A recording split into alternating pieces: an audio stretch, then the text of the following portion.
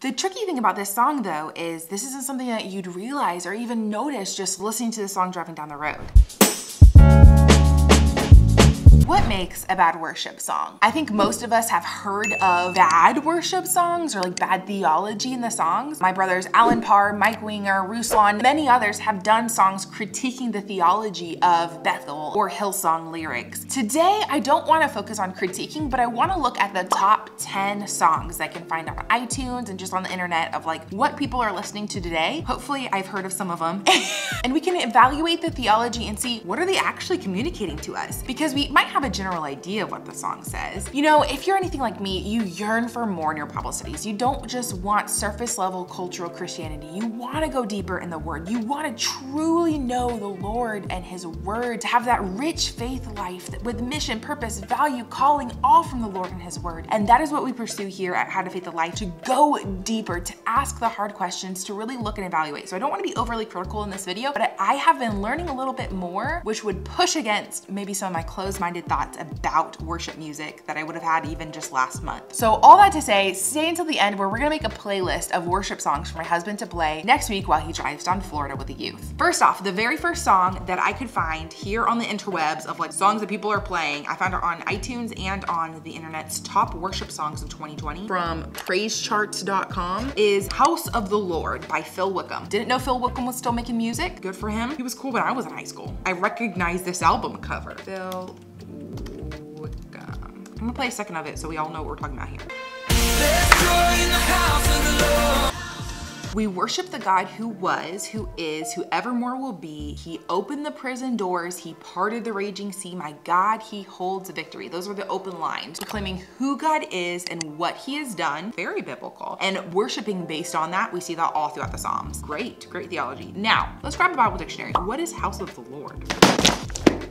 Household, housetop. You don't have house of the Lord, house of God. Common phrase used in the ancient Near Eastern world for structure used to accommodate a deity or his servants. So you wanna think of like a pagan temple or God's temple. In the Old Testament, it referred to the tabernacle, Solomon's temple, national shrines, or pagan temples. In the New Testament times, the Old Testament custom of referring to the temple as the house of God was still employed, but with some significant changes. After Christ's ascension, the church viewed itself as the house of God. No longer dwelt in buildings made by human hands, but in the lives of those who confess Jesus as Lord. House of the Lord, therefore, isn't just the church, but rather house of the Lord is even in the heart of me because the Spirit lives within me. I would rate this song like an 8 out of 10. Just looking up the truth of what House of the Lord was took it to a whole new level. Next up is Fill My Cup Up by Andrew Ripp.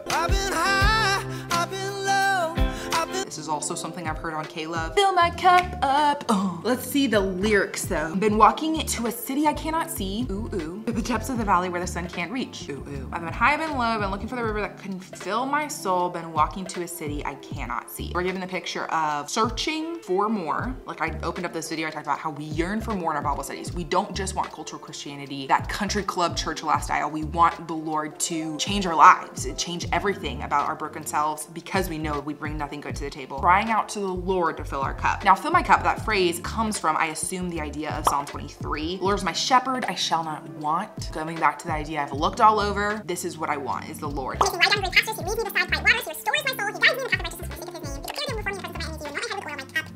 I'm assuming this idea of fill up my cup, Lord, crying out to the Lord to fill our cups, comes from this phrase, my cup overflows, this promise of what we have in the Lord, and crying out based on scripture, hey, you say you can fill me up, do that, Lord. That's a biblical thing. That's very David. Let's look though more at the lyrics. I was born far from home, but I've been thriving in the wonder of the great unknown because I'm drinking from a well from another place. Ooh, that brings in John 4, woman at the well, water that never runs dry kind of thing. Never thirst again kind of idea. Love it. Cross-reference even in your worship songs, y'all. Yeah, I don't see anything wrong with this. Um, previously, like getting my biblical education, I had many professors, biblical teachers tell me like, hey, it's not really good that these days Christian music kind of is very so me-centered. Fill up my cup, fill up my cup. Oh, how he loves us. Oh, how he loves us. Very like us-centered. And I recently was reading Scot McKnight's book, The Blue Parakeet, which really pushed some of my buttons in a good way. He made the point that if we don't use this me-centered language, which we do see in the Psalms, we're not personalizing our faith and taking on our faith and owning our faith in that personal relationship which we're called to do. And it really kind of made me think twice about worship language. Maybe it's not always bad when we do use me-centered language. Not is it just, oh, how he loves me, oh, how he loves me, oh, how he loves me, but I'm crying out for you to fill up my cup, Lord. Surrendered, dependent mentality that points to this idea of a savior and that we need him and not ourselves. I'm not gonna take fault with it. So nine out of 10. The next one is Charity Gayle's, Thank You, Jesus, for the blood.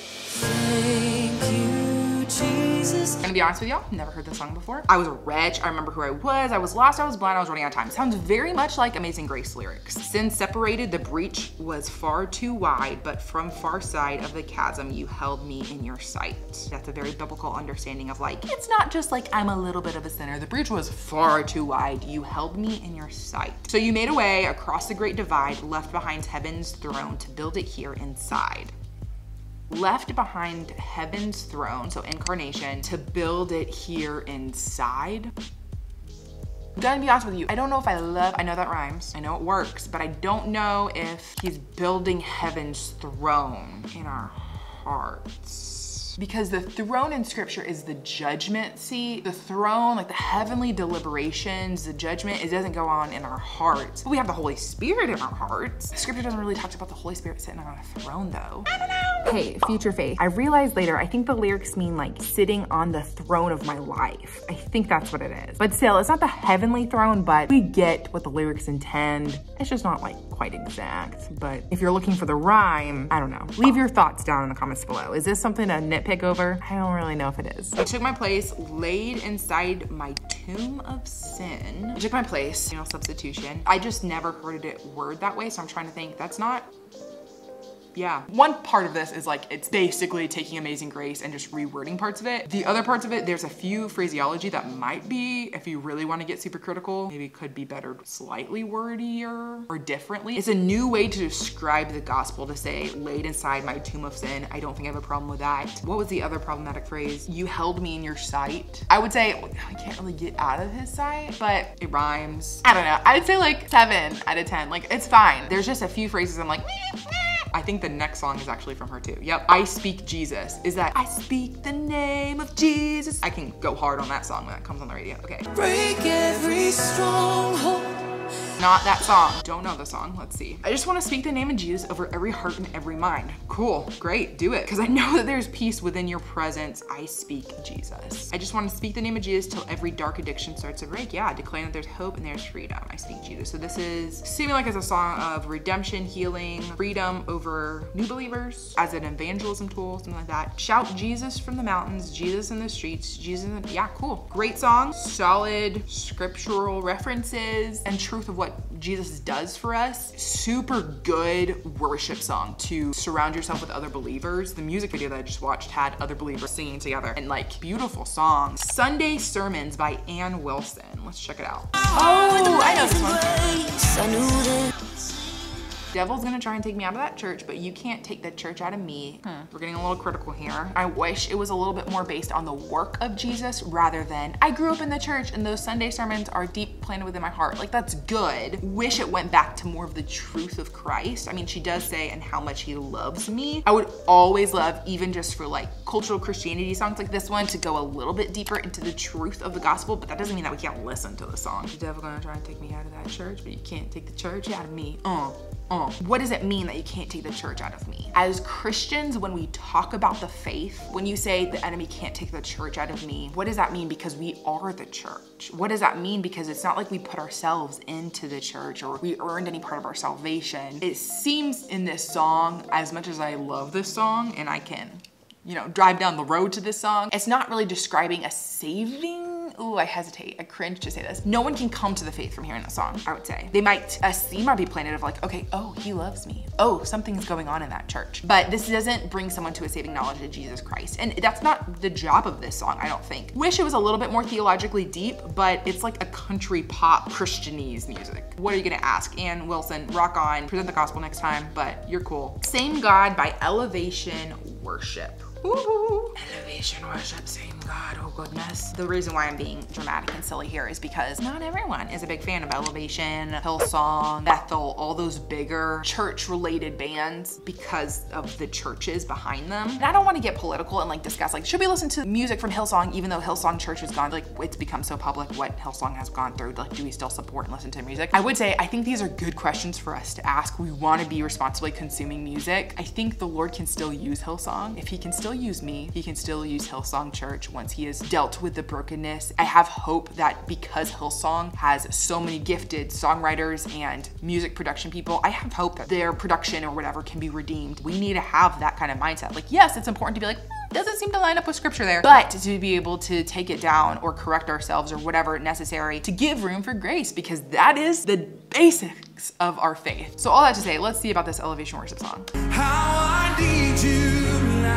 Right off the bat, I heard a lot of statements about who God is. Good, that is the essence of worship. I'm calling on the God of Jacob. Cool, love it. I'm calling on the God of Moses, the one who opened up the ocean. I need you now to do the same thing for me, for me, for me. Mm, you aren't David. If y'all are a big fan of Matt Chandler, you'll already recognize that reference. But basically, I'm not a big fan of that hermeneutic when we come into scripture, identifying with the hero in the story and saying, oh yeah, this is my situation. Do what you did for Moses because it wasn't about Moses. It wasn't about him raising the staff and God parting the sea. It was about God redeeming his people for his glory from slavery and how that points to our salvation bought for us through Jesus on the cross. And just like he redeemed them from the slavery in Egypt, he does that to the slavery of our sin. Galatians 4 and 5 talk about this. So I would be a little bit hesitant to just like sing out, you did this for Moses, do this for me. Because one, he didn't just do it for Moses. Actually, he did it for the Israelites. That's a little bit of me-centered theology, which I was hoping that they wouldn't do because when I listened to it, they were singing truths about God. So maybe it gets better. I'm calling on the God of Mary, whose favor rests upon the lowly.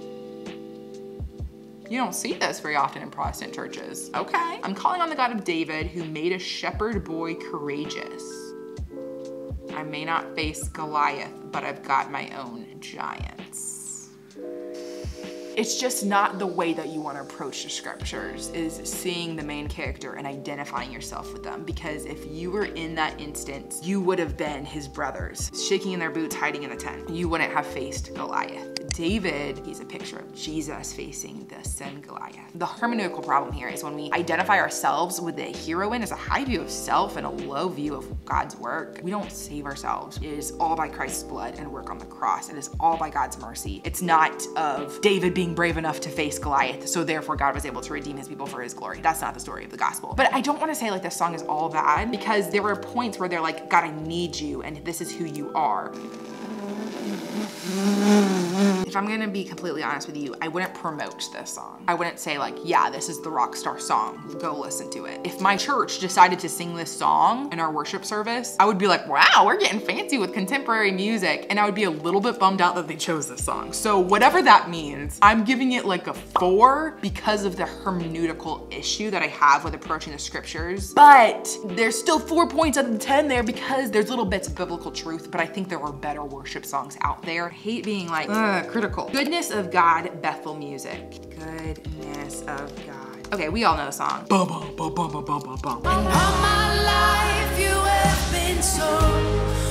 Your goodness is running after me. Yes, I like that. I love that because I'm not running after God. If left into myself, I would not do that. None of us would do that. We'd be running after our own pleasures. With my life laid down, I'm surrendered now. I give you everything. Love that. There is still a lot of me-centered language where we could better make it just about God. Instead of saying, I'm gonna sing about the goodness of God, we could just sing about the goodness of God or command that we sing about the goodness of God. And that's the Psalms. Often these congregational responses, let's sing about the goodness of God. He just redeemed us from blah, blah, blah. And then they're like, yes, and they all join in and you, you know, you see the congregation join in and they sing back the truths. I would prefer that kind of style in our worship songs rather than just over and over again, I'm gonna sing, I'm gonna sing, because that does exist exemplify this. Look at me, I'm singing about the goodness of God, therefore I must be good and holy and awesome. There is an implied command or encouragement to join in on this worship of God. I don't know, I don't wanna be too critical either. So eight out of 10, seven out of 10, we're good. Rock on, going on the playlist. The other one, Same God by Elevation Church, probably not, but Goodness of God definitely going on the playlist for the youth group. Number seven,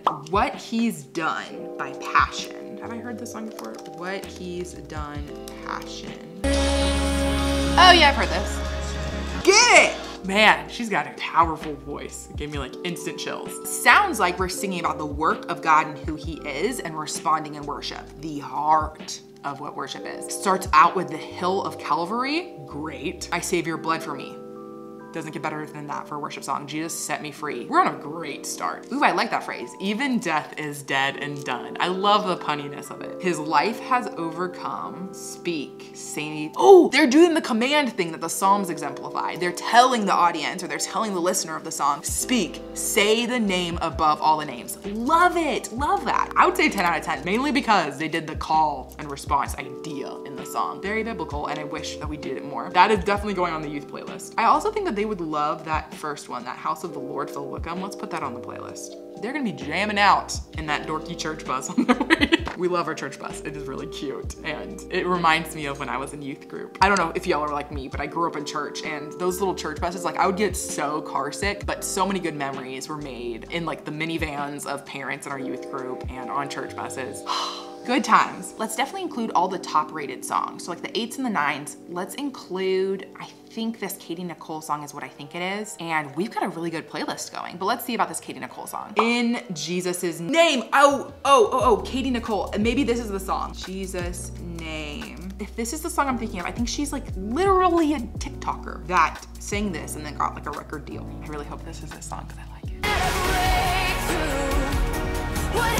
So this is it. Her name's Katy Nichole. Okay, I need to remember that. From what I've heard just listening to on the radio, whew, powerful lyrics. I speak the name of Jesus over you. In your hurting, in your sorrow, I will ask my God to move. I speak the name, all that I can do. In desperation, I'll seek heaven and pray this for you. So this idea of interceding for our brothers and sisters in the faith, petitioning the throne room of God in the name of Jesus, where scripture tells us the name of Jesus is very powerful. So this makes me think I got many questions recently about praying in the will of God. And I think this gives us a really good tension here of we're speaking the name of Jesus, petitioning the throne room for healing, of authority, declaring blessings. We're called to petition the throne room of God, and she does a really good job of showing what it looks like on behalf of our brothers and sisters to bear each other's burdens and to petition God for that, even though we don't know if it is what's gonna happen and what is God's will, healing on this side of earth or in heaven. Love the concept, love the idea. I don't see anything that problematic unless you just overly read into it. But if you guys wanna watch the video where I talk a little bit more about like how do you know if it's God's will and what to pray and how to pray it, check out this video right here and I will see you guys in this video where Joe and I answer a lot of juicy questions, especially praying in God's will. See you guys in this video. Bye guys.